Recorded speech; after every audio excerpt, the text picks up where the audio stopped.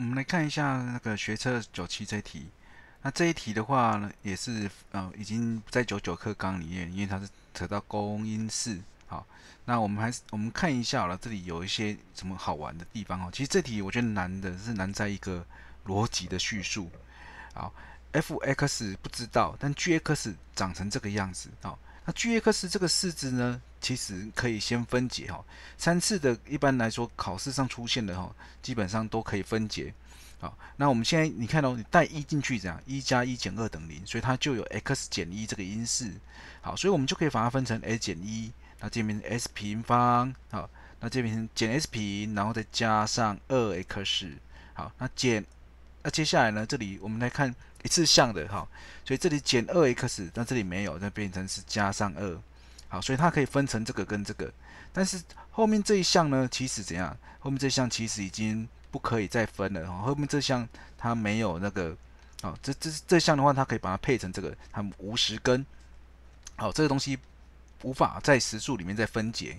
好，那我们知道 G 有包含一个一次乘上一个不能分解的二次啊，可是 F 跟 G 有共同的，所以它们共同的有可能是什么？有可能是这个。也有可能是这个，也有可能两个都是哈，所以关键点在这里。好，就是说它有可能这个或这个或两个都是。好，那我们来看一下哦。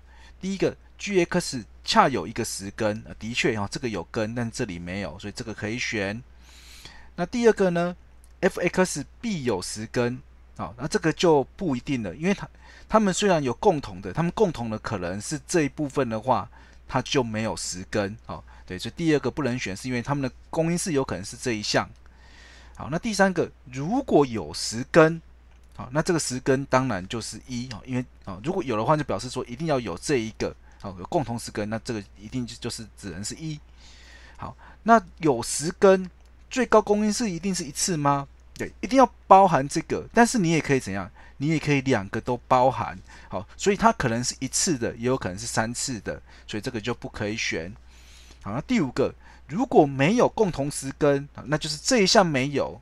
好，但是他们又要有公因式，那就只能是什么？只能有这一项啊。对，那的确最高公因式就只能是两次的。所以这题答案就是一三五。好，反正要注意，它有公因式，有可能一个，也有可能这个，也有可能两个都有，这是这题的关键。另外呢，看到三次式的呢，我们就先把它分解，然后这样子比较好处理。